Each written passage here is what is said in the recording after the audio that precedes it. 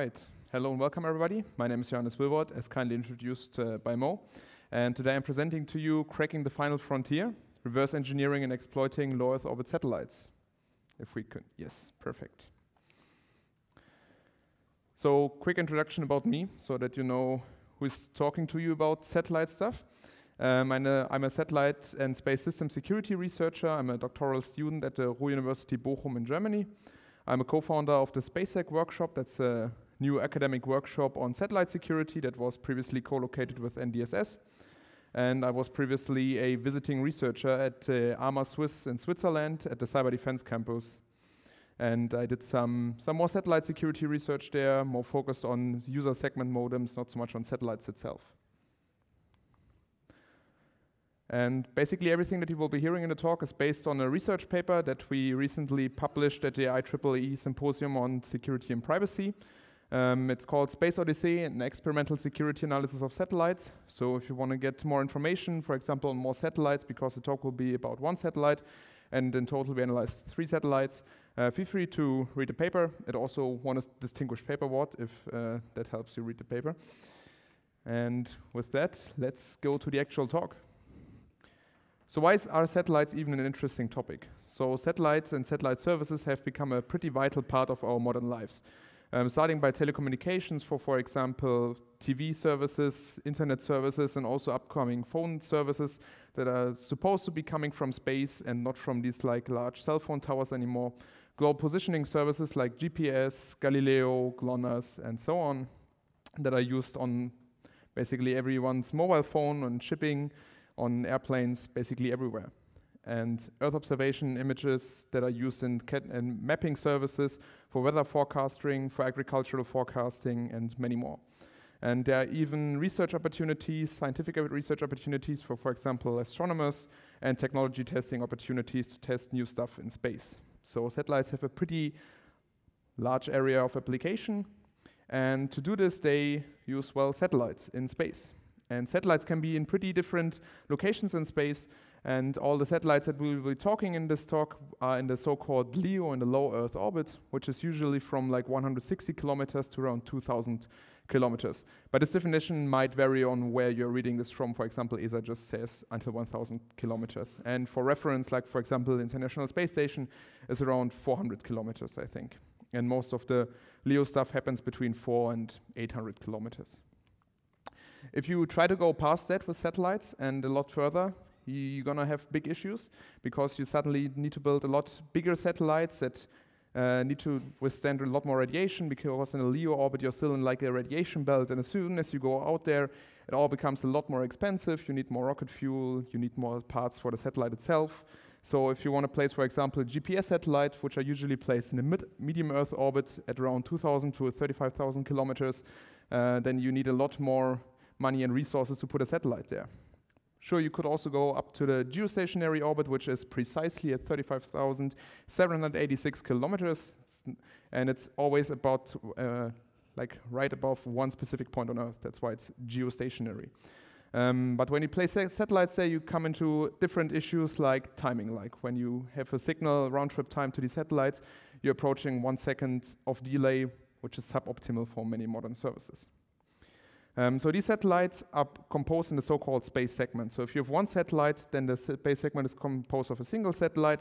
If you have more satellites like a con constellation like Starlink or OneWeb, then you have multiple satellites and all of these satellites are connected via an inter-satellite link. The satellite that we will be looking at is, for example, a 3U CubeSat from ESA, and it's actually rather small with just 10 by 35 by 10 centimeters. Um, and this is also many of the newer satellites that are the so-called new space era are in basically this format. So they, they're really small. They're not these gigantic satellites anymore that you might have seen on the news or in uh, previous times.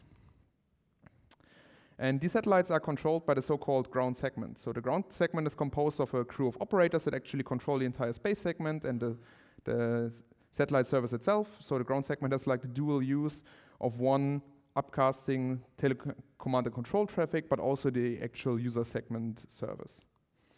And these ground stations can be pretty large, like they can be gigantic antennas of like 50 meters or whatever, but they can also be pretty small. Like this is a ground station at the Technical University of Berlin with a human for scale.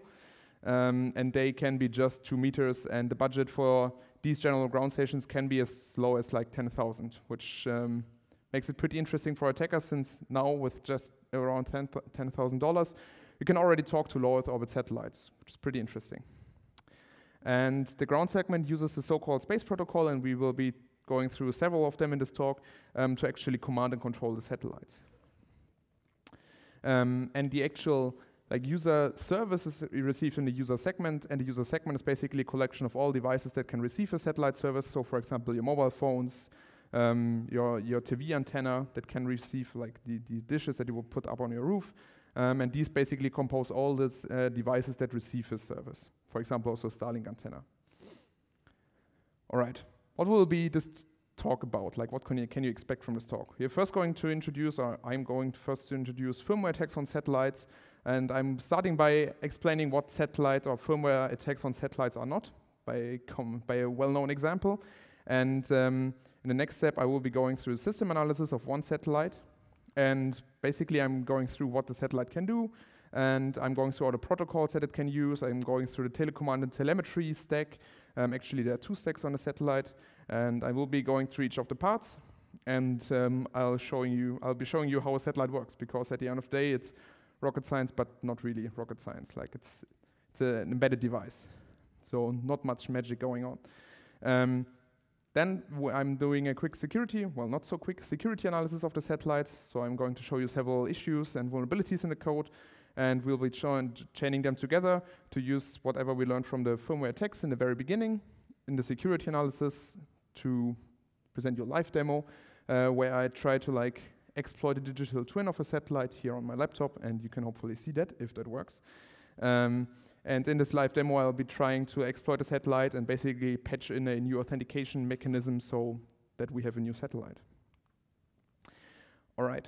Let's start with firmware attacks on satellites. What even is the concept behind that? Let's first start by what it isn't. So you probably all heard about the so-called Viasat incident that happened after the first day of Ukraine, um, where hackers took over parts of satellite modems and like many wind parks in, for example, northern Germany were shut down. And it was like hyped as a big satellite security topic. Um, but when you actually look in the details, it has nothing to do with what I'm presenting here. Um, it's just the name, same name satellite security, but since so many people have brought it to my attention and asked about it, I thought I'll be quickly explaining this, why it's not that. So in this Viasat incident, these people basically came from the internet and they compromised ground station services that were exposed to the internet. So they took over parts of the ground station system, or well, not really the ground station, but the, the part that is upcasting the internet traffic, and then from there distributed likely malware to the user segments. And as you can see, the thing that is really pretty much irrelevant at this point is the satellite itself because it acts as dump pipe. It's just taking the whatever traffic it gets, it doesn't decode it, it just rebroadcasts it at a slightly different frequency because uplink and downlink frequencies are different. And really, the attack would have been basically the same if there would have been a cable, not a satellite. Um, but this makes it a satellite security topic, so um, yeah, but has nothing to do with, with what we are doing here. Um, firmware attacks on satellites are much more about an attacker having its own ground station, for example, a small one that I previously showed you, and talking directly to a satellite, and then exploiting one or more vulnerabilities on a satellite or just missing security measures in the first place um, to do several, uh, to do usual software attacks on the satellite itself.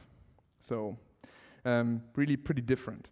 And this concept itself is not really novel. So there have been so many reports where they stated that you, you should be looking at software security of satellites, um, but it was never really addressed. Was always stated, yeah, you, you, can take over a satellite. Like probably since the 90s, people stated it. And um, at least in the public domain, nobody really cared. Like probably uh, militaries cared about it more, but um, well, I don't have insights into that. Um, so quickly about the attacker model that we'll be using here, we're assuming some attacker that has like a ground station that most people here could just purchase online. They know exactly where the satellite is. They know the exact frequency modulation, which is uh, might be a fair assumption. Many of the frequencies have to be published, for example, for FCC grants. Um, on the modulation, well, there are not that many, so you might be able to guess it. The location is known. You can look it up for any satellite in space. Um, another thing that we are assuming that is probably a lot harder is access to the actual firmware of the satellite. Um, I'll be going through how we got it. Um, But that is like kind of an attacker model that we, that we think makes sense since more and more of the satellites component move to like components off the shelves. So more and more parts of the satellite software might be known. So that is certainly something that people should consider. So let's talk about what kind of attacker goals you can achieve with these firmware attacks. Obviously, can you can do a denial of service. That's today the most used like satellite attack of all. Like ultimately, if the, the satellite can't produce its service, it's pretty pointless up in space. Another attack vector would be malicious data interaction. So assume you have like an Earth observation satellite and you want to see the, and you want to tamper with the images on the satellite.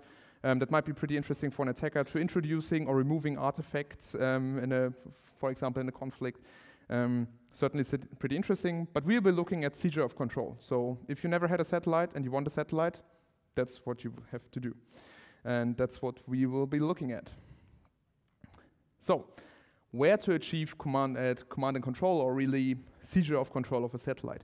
So generally, satellites are composed of, of two big parts. We have a bus system and a payload system. The payload system is whatever, is whatever equipment the, the satellite carries for its service. So it might be a big uh, camera for Earth observation, it might be big tele uh, radio, radio frequency equipment for telecommunications. So really it's uh, the point why the satellite is up there. And then there is the bus system, um, which allows to like basically keep the satellite alive in space. And the payload is where you can, for example, achieve these like data, malicious data interactions that I just talked about. When you, for, for example, want to change the images on a satellite, that's where you do it. If you want to do, for example, denial of service, that's where you do it.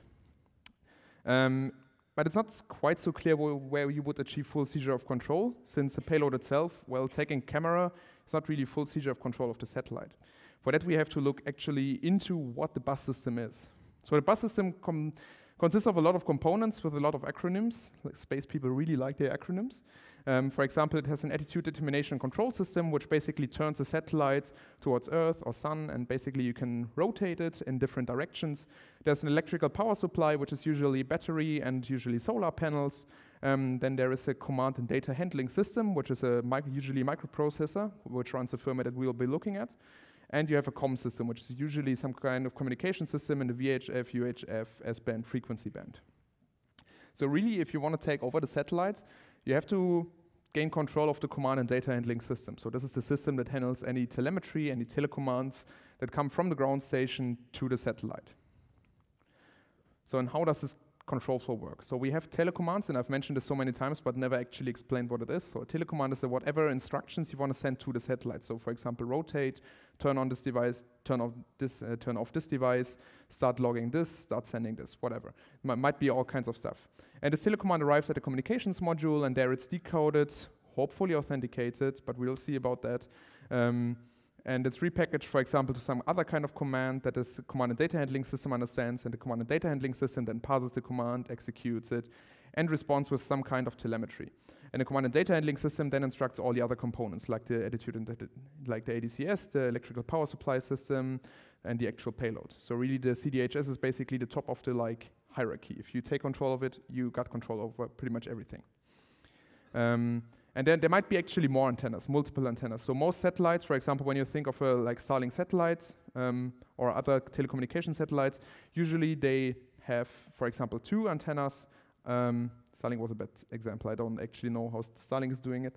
Um, but usually they have two antennas, for example. Then you have an S-band antenna or UHF, VHF antenna for like telecommand and control. And then you might have a different antenna that is also having um, command and control for for a payload. So for example, there is a satellite up in space that has actually multiple payloads of multiple different customers. Then you might have multiple telecommands and control things, but let's not talk about this right now. So what might, the, mm, what might be the attack path through the, through the satellite? So obviously, as an attacker, you would arrive at, for example, a communication system, you would propagate your attack to the command and data handling system, and you would take full control of the bus system. You can't really take control of the bus system from the payload per se. You can only escalate your attack uh, vertically, laterally from the uh, communications, uh, from the payload communication system to the payload data handling system to the command and data handling system. So that is a way. Um, and many people actually looked so far at these like payload attacks. For example, the HexCySat competition in, uh, in, Europe that was this year and last year. Um, there is an online article where somebody looked at the same satellite that we were looking at, at this ESA, ESA satellite OPSAT. And there was also a talk at CySat 2023 from Matteo Calabrese, who also did the live exploitation of the payload. But we'll be looking at the bus. Um, and there, there, are basically many things that you have to achieve to get full control of this satellite. First, you have to basically bypass whatever COM protection there is. And the first thing and the easiest might be if there is just missing access control at all. Um, far more common than you might think. Um, there might be just insecure and super outdated protocols because many of these satellites are pretty old or because they use pretty outdated components for whatever reasons. The crypto might be outdated, there might be timing side channels, also many things to bypass this COM protection. The next steps, you want to basically de deploy whatever payload you have on your command and data handling system. You could say the easiest thing would be, well, do a firmware update if you, if you already can execute any command. Um, but that's actually not so easy for several reasons. First, the image, oh, sorry, might be signed. Um, not so much of an issue maybe, but you have really slow upload sometimes. Many of the satellites just have a VHF or UHF link. So this is around nine kilobytes per second. And your time window, because before the satellite crosses the horizon again, is around 10 minutes. So you have 10 minutes to upload your stuff. And if you have like a multi-megabyte image, make your calculations. That might take some time. Actually, it might take days or even weeks for people to upload new images. Um, also, these like building a full new working firmware images for, for like a device that has 20 peripherals and five redundancies of everything is not super easy and it's hard on, on Earth and if you try to on, on some random people's satellite in space that might not be the, the way to success. So what else we can do is for example find dangerous telecommands that try to do stuff that you're not supposed to do like writing memory or you find vulnerable telecommands that just have an outright vulnerability, which is what we will be doing here. And finally, at the bus itself, you have to hijack the bus control flow and gain full bus privileges, stuff you all probably know. And if you do all that, then you got yourself a new satellite. All right, so to conclude, we want to find a bypass COM protection, a dangerous or vulnerable telecommand. We want to find, uh, or we wanted to hijack the bus control flow. And finally, we want to gain full bus privileges. And if we do all these things, then we are successful. All right, so how do we get firmware access in the first place? Um, usually we just take our Starship from the chair. Um, it was kindly bought to, to, for us from our professor. Then you go up in space to whatever space station you have, and then you just dump the software. Uh, in re reality, that's unfortunately not the case yet. So you have to talk to people. Um, and you have to talk to a lot of people, and you can ask for their so software. For example, ESA gave it to us. Um, you can ask other institutions, they might give it to you under an NDA, that also sometimes works, or you can talk to a lot of people and like build collaborations and then maybe they give software to you. Um, but satellite developers are pretty reluctant to give software out because most of the like security is still security by obscurity. So you don't know how this telecommand protocol works. So that's why you can't access the satellite. It's not encryption, it's not authentication, it's you don't know how it works, so you can't do it. So these people are usually pretty reluctant to giving out software. And it's even harder if you try to publish it like we did. Um, but that's the only way you can really do, unless you have super fancy spy satellites that I don't know of. Okay, so what's what was our approach? Um, we did usually, or on all three images that we looked at, we did a manual reversing, reverse engineering. We looked at any underlying system design. We found some pretty rare target architectures, like for example AVR32, which uh, will be the main or some part of this talk. Um, there are many new protocols that I've never seen before uh, that I have to, had to look up, and redundancies also make stuff pretty nasty. Uh, we did a manual vulnerability analysis, so we looked at, we went through the telecommand uh, data paths. We're looking for missing security um, measures. We were looking at dangerous TC actions, so if you can write in memory that is like intended to be as an action. And we were looking for like low-hanging fruits, like malicious mem copies, string copies with an out size field, whatever. And we, we also did some automated fuzz testing. Um, there was a problem. Well, there's maybe just not a, even an emulator for whatever architecture we're looking at, um, but more about that at TyphoonCon because there will be a talk about fuzzing the same satellites. All right, so let's jump into the system analysis of the of ESA's OPSAT. So ESA's OPSAT is an experimental satellite that is operated by ESA, and it's pretty much open for research. So everybody here can basically go on GitHub, download their like Java framework, and write an experiment in it. And then you can send it to ESA with like a small piece of paper, what you want to do, and then they might upload it after a code review onto the satellite. And it has a lot of peripherals, like it has an S-band antenna, X-band, SDR, optical receiver, camera, and like dozens of other stuff. And the payload itself is like an ARM-based Linux plus an FPGA, not the bus, that's something different. And it was launched in 2019. And the system chart basically looks like this. We have in the upper part the bus system that I have mentioned uh, several times now already. So we have the communication system, command and data handling system, and so on. And we also have a GPS system. And then the lower part is the payload, so really what the satellite is uh, supposed to do in space. We have this X-band, S-band, and so on. All right, so next, next, let's jump into the actual system chart of the whole thing. So this is basically the chart of from antenna to antenna, from receiving a telecommand to processing it, to emitting telemetry, to sending it back to Earth. So we will be going through most of these parts, so don't worry, you don't have to read this right now. Um, but you can already see we have basically two main telecommand and uh, telecommand command and control channel path, let's say it like that, two stacks. Uh, the upper path and the lower path, and we will be going through each of the components now. All right, so we start with the upper part. Um, no. And basically, first we have the UHF antenna, and we are receiving the signal from our, um, sorry, we, we have the I2C bus, we have a UHF antenna, and we are receiving, for example, telecommands from this UHF antenna. And this is then, for example, and this is then forwarded with an I2C bus to the actual um, co command and data handling system. And in and by itself, the code that I'm showing you is actually not too interesting um, because uh, it's basically just taking a frame and taking a frame length and repackaging it. Um, but it will be interesting later on because it does some usual network stuff like network to host, like some 32-bit conversion that is like everywhere in uh, in network applications. And it, it, takes up a lot of space. But interestingly, the, the function that is like doing this N to H32 conversion is actually doing nothing. So all of this is bad or is like basically useless code. So this will be some free real estate that we can work with later on, just so you keep that in mind. Um, that's always good to have. Okay, so let's look at the first space protocol um, in this whole stack. So the first base protocol that we'll be looking at is the so-called libCSP. That is the libcubesat space protocol. And we'll be looking at version 1. There's also now a pretty new version 2, which fixes most of these issues, but uh, we will be looking at that first. So it's a very much TCP IP-oriented design. So you can already see it's like you have a source address, you have a destination address, just a few byte, uh, bits, but you don't need so many bits anyways. Like it, it's not like you have 4.3 billion satellites in your own fleet, so what you need 32 bits for. Um, and then we have like a destination port and source port so that multiple applications on your satellite can receive the telecommands and uh, answer to them accordingly. And then you also have some interesting bits like an HMAC that you can enable and an XTIA encryption that you can enable. And that is a nice idea. Um, so because the entire protocol actually does support HMAC SHA-1 authentication and also XTIA encryption. Um, but there are some issues with that. Um, first of all, the, the MAC comparison leaks timing data. It's just a loop that compares bytes. And for those aware, like if you do it this way, then basically you can send a wrong signature and the loop will exit early.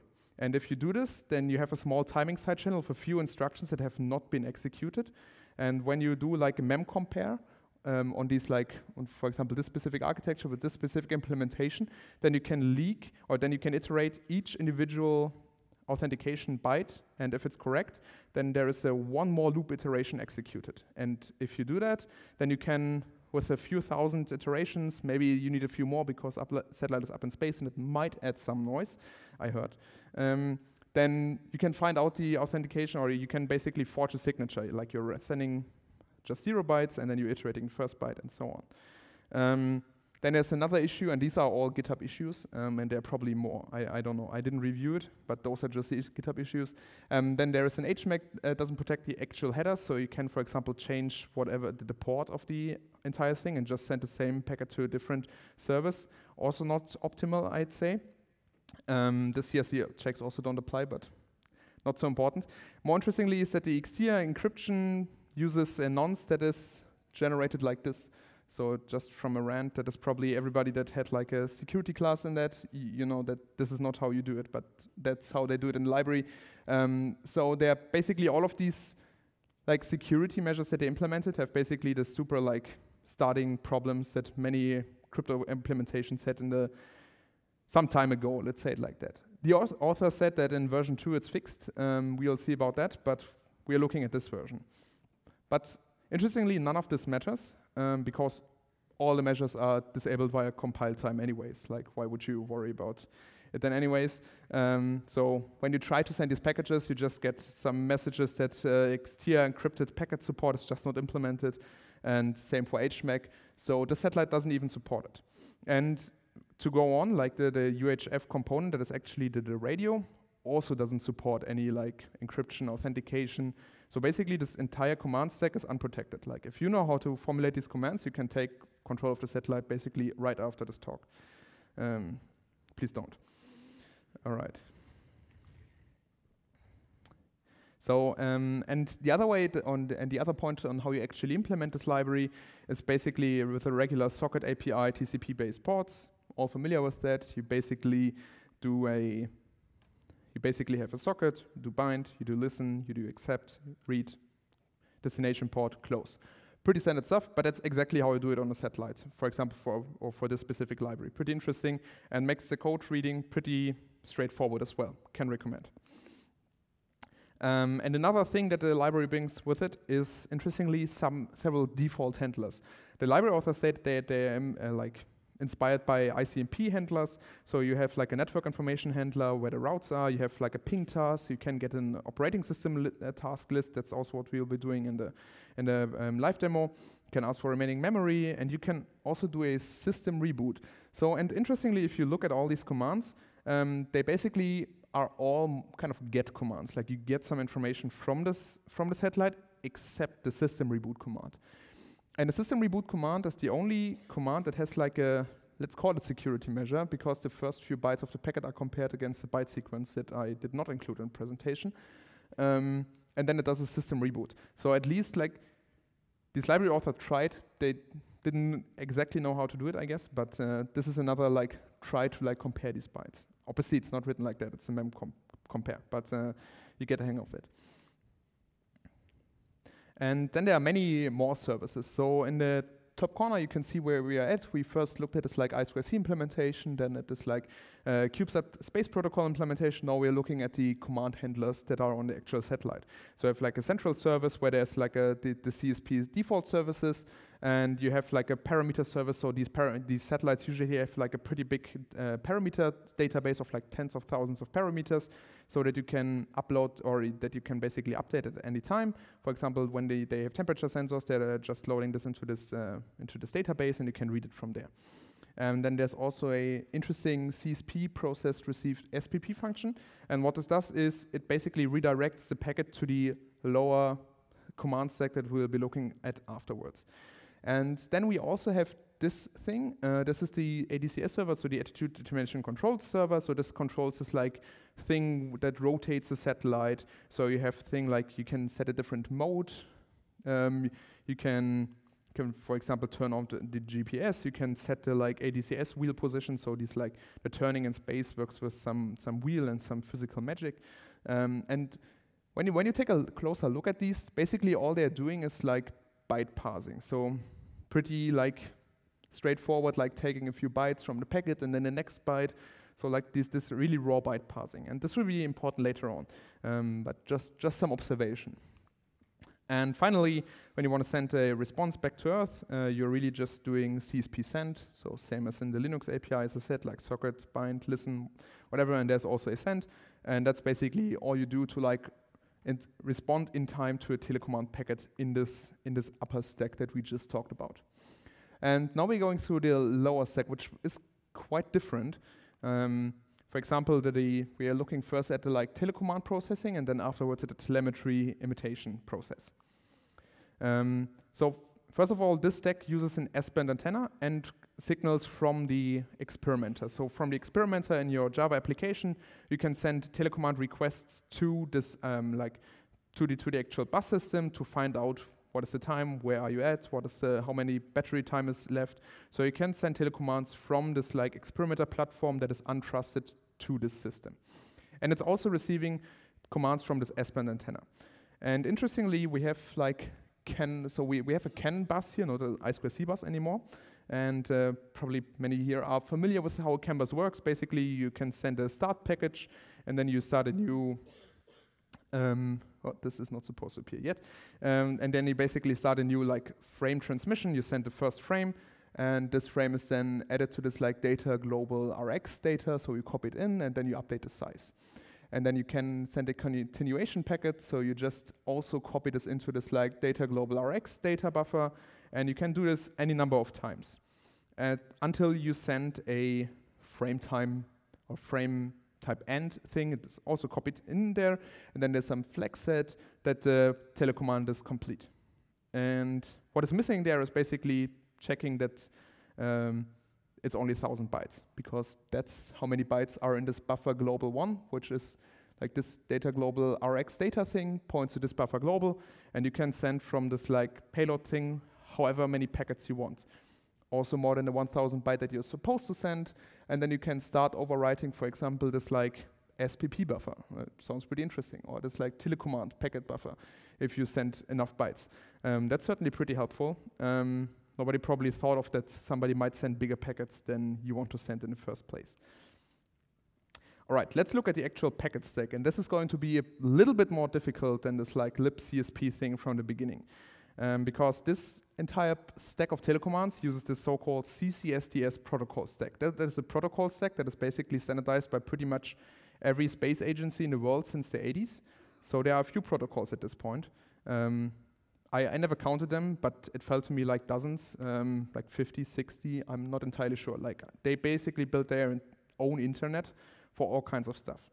Um, so for example, you have like a you have even protocols below this layer, and then you have like a synchronization channel coding sublayer, which already has several protocols. This is probably the smallest layer, with which only has four protocol options. So even if you just want to implement telemetry and uh, telemetry and uh, telecommand stuff, you already have to implement two protocols here.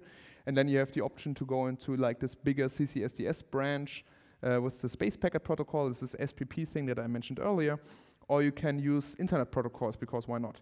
Um, and when you go up these layers, there are so many protocols, like there is a special protocol for Earth observation satellites, there's a special protocol for file handling, there is a special message abstraction layer for all kinds of services that we'll be closer looking at in a, in a few minutes. Um, and really, they, they implemented so many protocols that probably nobody really has an idea anymore how many protocols there even are. And one security protocol, one. Um, and be going through this in a moment as well. Um, for us, it's only interesting this like space packet protocol and this message abstraction layer. And we are starting with the like space packet protocol. So if anybody here will ever have anything to do with satellites, there is a pretty good chance that you will encounter this protocol. Like, uh, can almost guarantee you. Um, the space packet protocol has is actually a rather simple structure. You have like a primary header, you have an optional secondary header, and then some user data. Pretty straightforward. And then you, the, the primary header extends to like a packet version number, which is at this point some not really a version number anymore, I'm not sure. Um, and then some packet identification. So for example, what kind of packet type is it? Is there a secondary header and an application process ID? So for example, you might have multiple services on a satellite. It's kind of akin to like this port system on the other library. So you might have five different listeners on the satellite, and with this application process ID, you can decide where the packet goes to. Then you have like a packet sequence control where you have a sequence flag, like is it a single packet, is it a multiple packet, is it the start, the end, the middle, and so on, like a sequence counter and a length field. So also pretty straightforward actually. And when this kind of packet is received, we are going through this like parsing, verification, execution loop. Basically, we're first cleaning the buffers, we are reading a new command, we are verifying the command, and then executing it. And the read command is um, shown here. So basically, we are getting some packet uh, received from our from our CAN bus, from the from the S-band antenna or from the payload system, and then we basically take the current command, check, or we go through a like list of commands. There are about 20 empty ones. Um, might, some might not be empty. and you check if it's empty, and you're reading this like space packet protocol thing header in there. Uh, you're it's basically parsing the header, checking if all the fields make sense, and then copies it into the actual like G telecommand and process thing. And if that worked, then the current state is uh, it has read in a command. And to actually, actually execute the command, we needed another protocol. Actually, that's it has multiple standards that are just for this thing, the message abstraction layer.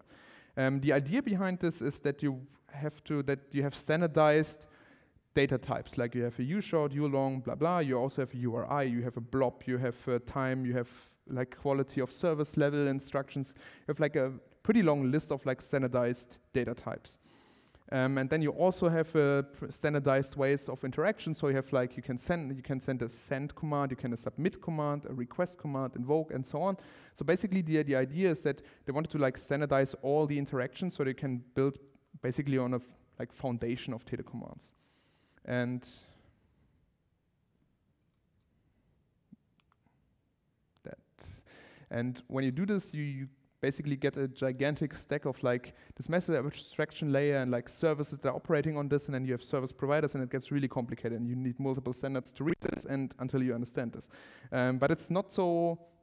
Unfortunately, we have to like not look into this. So at this, at this point, we basically have to just look at like two points. Uh, there are service areas, so you can define like general service area like event monitoring, and then you can define a specific operation and then you can send a command. For example, I want to like submit to like the service area that is written here with this specific operation, and then you can, for example, do event monitoring.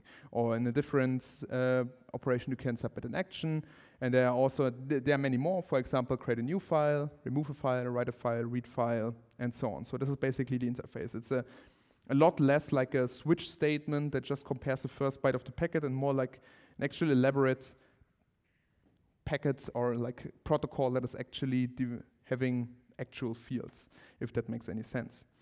Um, and if we are looking then, for example, at a, let's say, for example, submit, uh, submit create file thing, then we can see that we are also not parsing just the first byte and then doing like a regular C and thing um, to, to like pass the for the, the like first bit of it.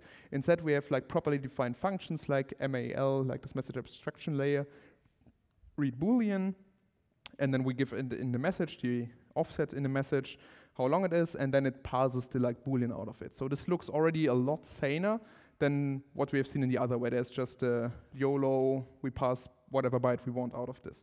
Um, and with that, they also continue, like you can read a string, and then if you have the string, you can actually have actually like a nice length field, and it, it looks actually quite sane. And in, in this specific example, for example, uh, we see that we are first getting a Boolean. Do we want to get, for example, an acceptance report? And in this case, we emitted part, a uh, telemetry packet that acknowledges that we have received the command and we are working on it.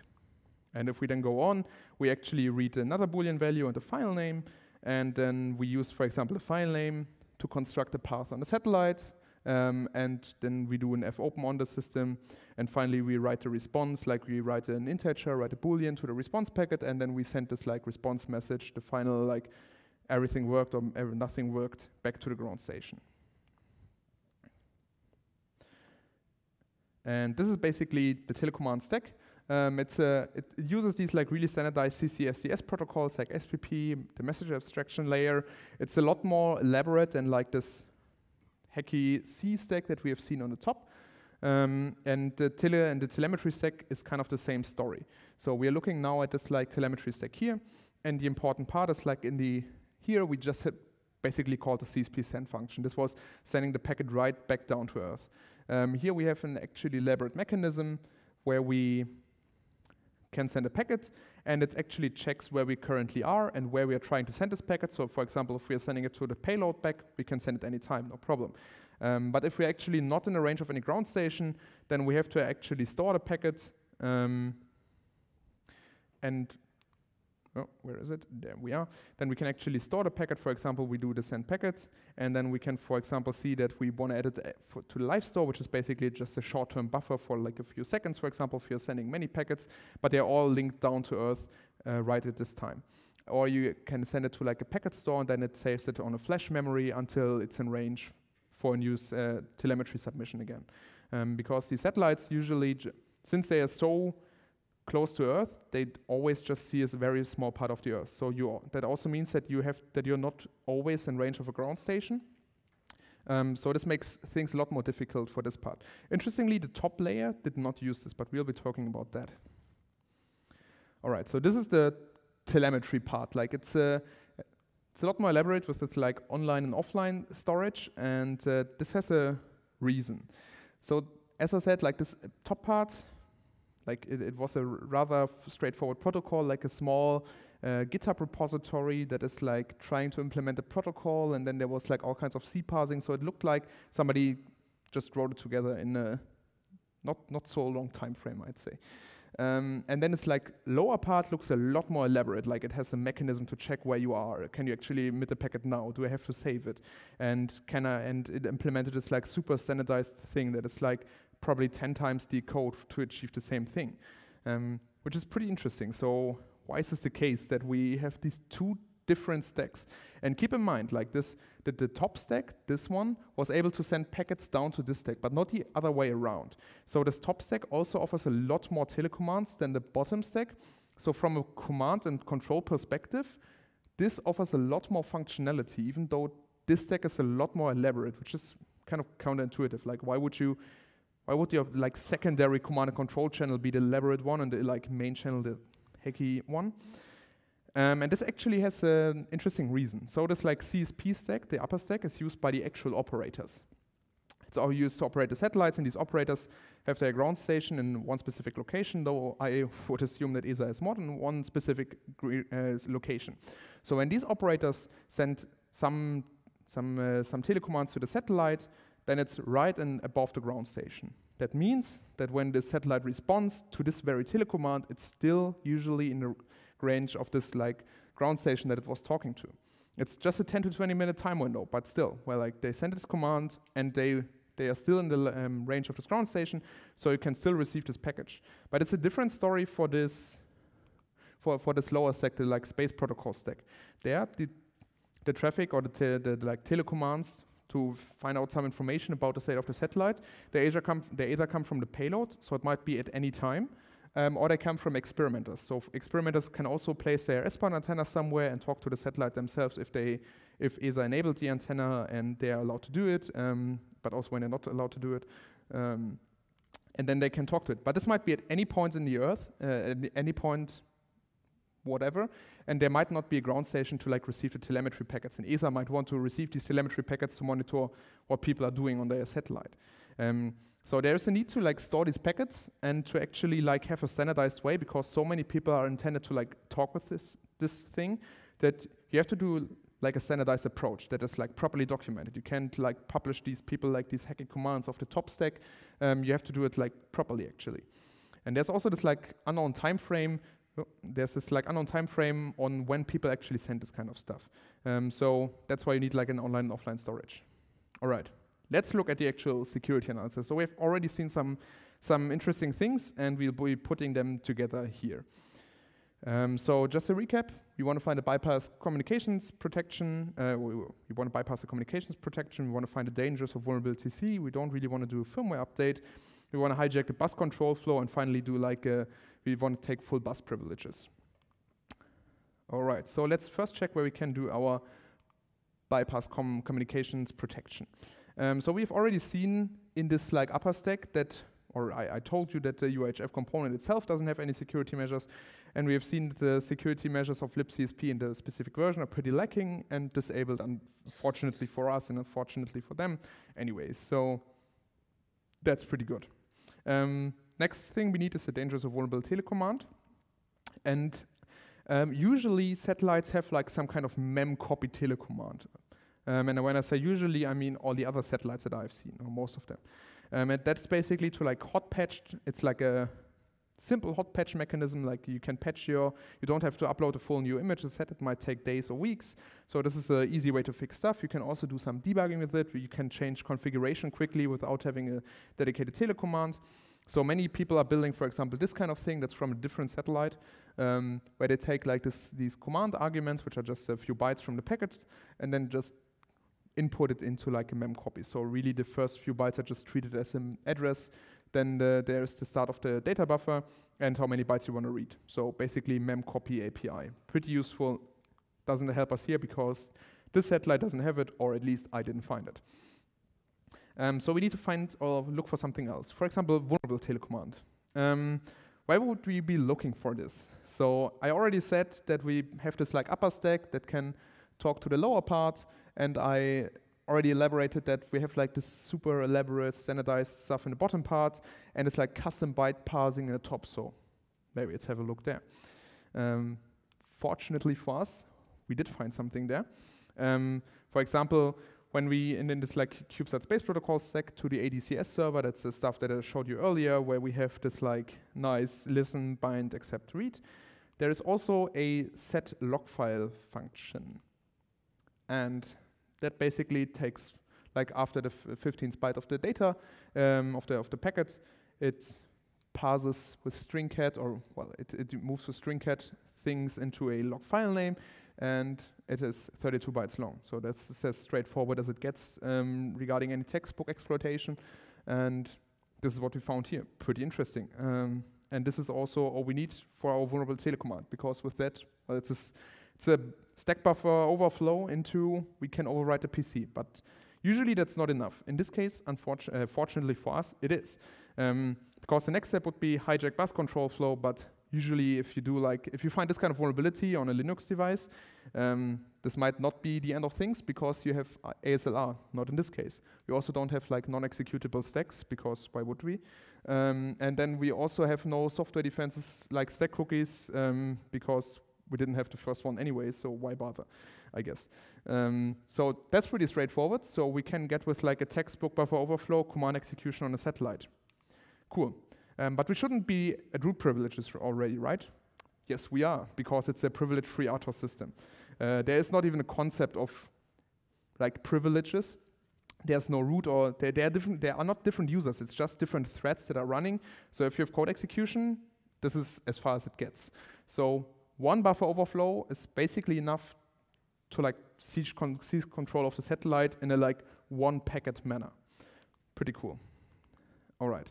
Um, so how do we do this in detail? Um, first, we have to hijack the control flow.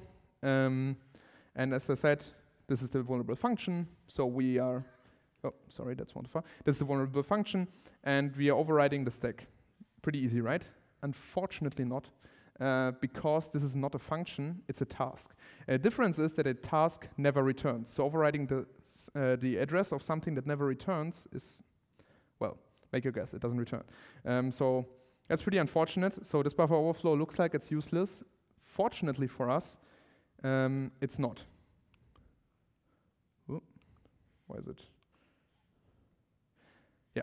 Um, so we've seen this like upper part already, and then it's construct. And after this like actual trigger of the buffer overflow, we are writing some more stuff. Like we are writing the like log data response packet. We are writing some stuff in there. We get some um, data, uh, uh, like timing data, like a and then we finally call a function called gs log start. And we're giving it this like corrupted buffer that has a way too long string in it. And fortunately for us, this is like basically how the function looked. Like it has a 60 byte sprint buffer, um, and we are just passing an undelimited like string length string into this buffer. So we have a second buffer overflow. Um, so because the first one was not good enough, we have a second one right after. Fortunately for us, that fixed our problem of not having a buffer overflow. Cool. All right.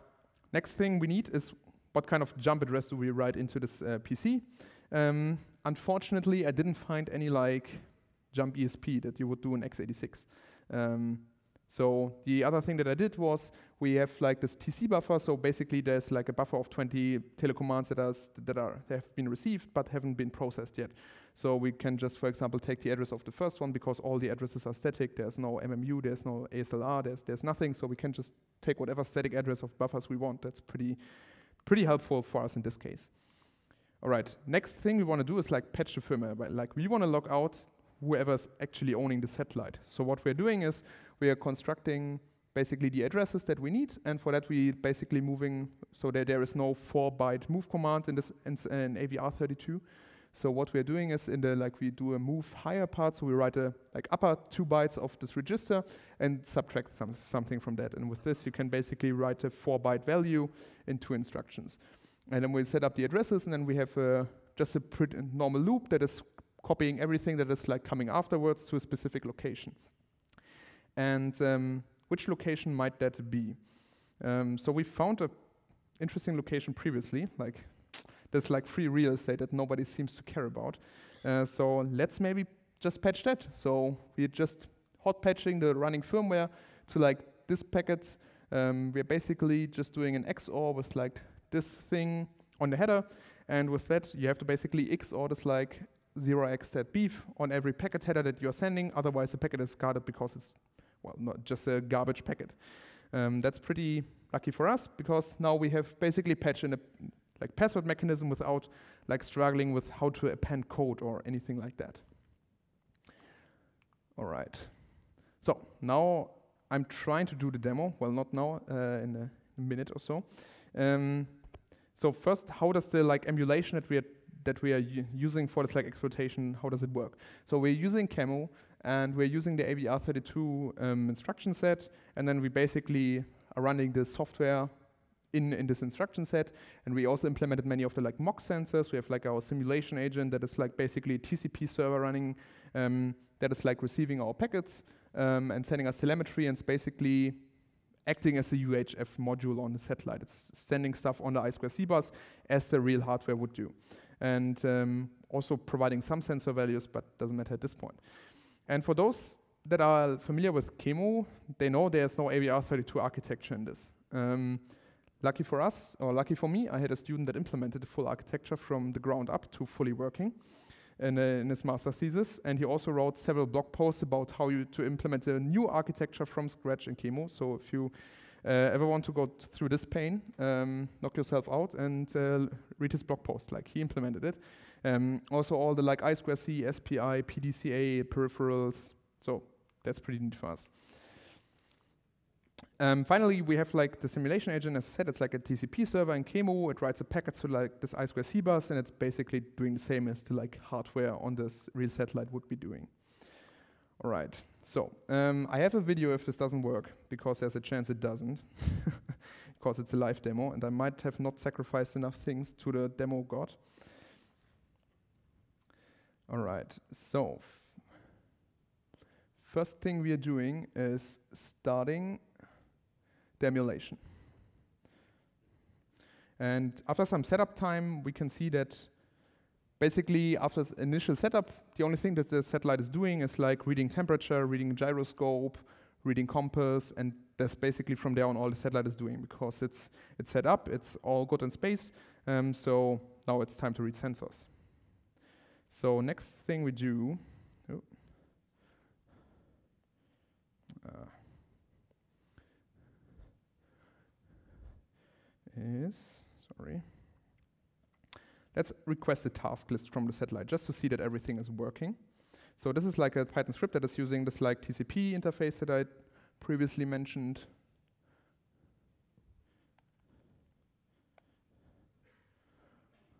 Oh, that's yes, I can try that.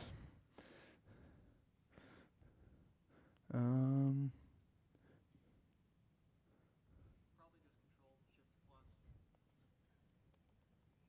Here you go. All right. Um, so let's try this again without this. And we're sending a command, and we've already seen in like the simulation that uh, the emulation that some, something was received, and we have received a task list from the satellite. Um, so we can see that there's like this ADCS task running. There's like some idle task that has apparently 250% of the usage. Um, that's because the timer is a bit bogged. Uh, we have some initialization process still running. We have like a board task. We have like a blinking task because an LED is blinking in space uh, for fun. Um, and yeah, this is basically, so this is working. All right, so let's try sending uh, the actual exploit. Sorry, jumping too much.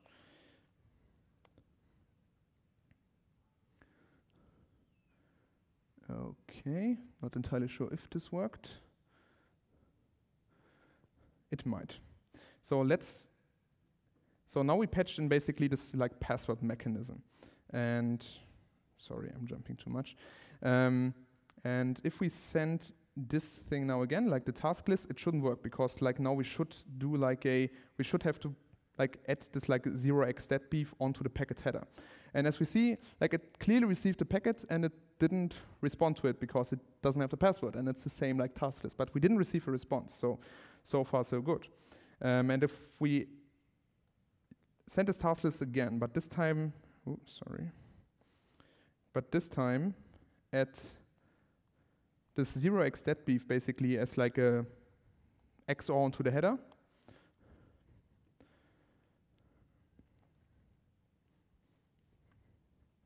We're not receiving a response, though we should be. All right, back to the video, because the demo gods are not favorable.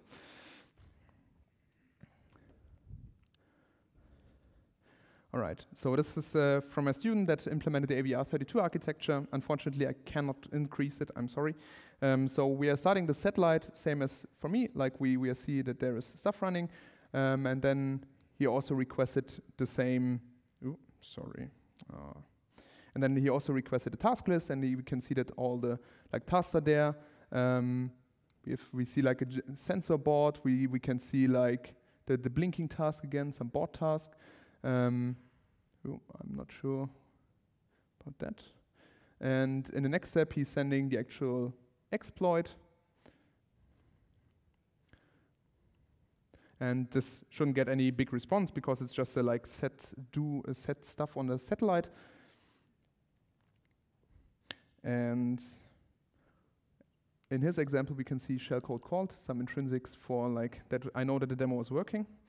Um, and then if he sends the like task list again, it doesn't work like it didn't for me because it shouldn't work. And then finally, if he adds this like 0x beef, the password basically onto the header, then he receives the task again. So this definitely does work. Um, and in fact, ESA has approached us if we can actually do it on a satellite, so that they have a password on the satellite. That's pretty interesting. All right. Um, so this was as straightforward as it gets. Like we are on a reverse engineering and conference, and I just showed you like a 90 style buffer overflow to overtake a satellite. Um, yeah, but this is the reality, and it shouldn't be that easy. Um, so what might be interesting like exploitation scenarios in the future? Um, so there's a issue of like cosmic radiation basically degrading all kinds of hardware in space. Um, so in the future we might see attacks against like degraded satellites. They, they are like out of service, you want to take them over, um, but for example a flash is not really working anymore because half the regions are destroyed by cosmic radiation. Um, or you might see very limited time attack windows. As I said, you have just have like 10 minutes before the satellite is like leaving the horizon again. Or we might be seeing like combined attacks of where you like um, do some kind of like sensor attack to like increase the temperature so that the satellite goes into some emergency state. So I think you can do pretty interesting stuff that is not necessarily the same on Earth. Um, but we are not there yet. Like we still have to do implement, we still have to implement passwords and ASLR to get there. Um, yeah. All right. Let's talk about some lessons learned that you, I hope, uh, maybe learned in this talk. Um, so first of all, to recap, firmware attacks on satellites are a thing. So it's, it's not this like Viasat incident. This was a completely different story. It's hyper-satellite security. It technically is, um, but it's completely independent from what we did here. Um, I've shown you that many of the like satellite protocols lack basic security. As satellite, the say CCSDS protocol has one security protocol, but it doesn't do key exchanges. It, it's really just encrypting and authenticating one block of data. Um, we've seen that, or I, I told you that many still rely on security by obscurity, mostly by you don't know how it works, so it's secure, which is suboptimal. We've seen this interesting, like complex telecommand and telemetry pipeline, um, where we have this, this, like dual command pipe or this dual pipeline for different purposes. Um, and we've also seen that there are many missing state-of-the-art defenses, so no ASLR, no stack cookies, no whatever. Um, and this leads to a single buffer overflow leading, leading to remote code execution, and finally to a full satellite takeover. And really the only thing that prevents us from carrying this out is basically we need access to a ground station. We do have access to a ground station, so we could do it. It's, it's not like there's something magical in between. And uh, with that, I thank you for your attention.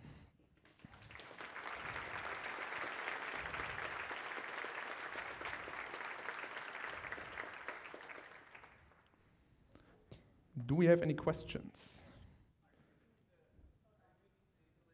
Can you get the mic?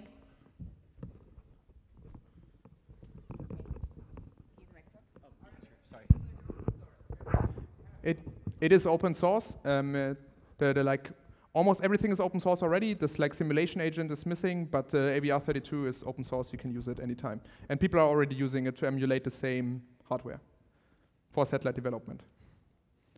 Um, how common is uh, like firmware reuse across the industry? Like, are, are these space agencies making like bespoke ones, or is this pretty common, like a vulnerability you might see across a lot of different satellites? So for like, it, it really depends. For example, I reckon that big companies that are launching constellations, sure, they, I, I, I assume they are reusing stuff. Um, also many like new space companies, they're for example selling like this bus system as a like one in a unit, you just put it on your satellite and you're good. And I'm assuming there's most of the time the same bus system running. But there are many, many, many of these companies. So um, there is reusage, but like it's it's not like there are just three satellite operating systems and stuff like that.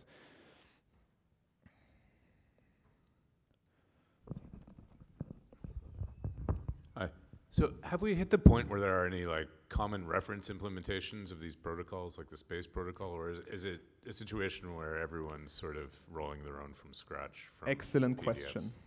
Um, there is, for the CCSDS stuff, there is an implementation in Java, um, which is awesome for satellites that are run in C.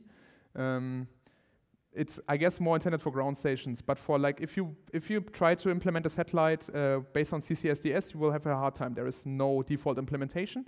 Um, and part of the problem is that first of it's dozens of protocols, um, but the other part of the issue is that the spec says that many things are optional or optional length and stuff like that. So really you have to basically do like a, you're implementing this specific sub-spec of the standard in my protocol. Um, so this is also an issue. And in interestingly, to go on about this in a paper, we analyzed this as well. And we have seen that the smaller a project is, the more likely they are to just implement their own protocol with like four fields and don't even bother with the standardized protocol. And only when you are in the like multi-million dollar project with like 50 people, you even start to consider using the standard, um, which is maybe not a great indicator for usability of the standard. Yeah. All right. Um, that's it. Uh, if any more questions are, uh, I, I'll be outside and you can ask me there.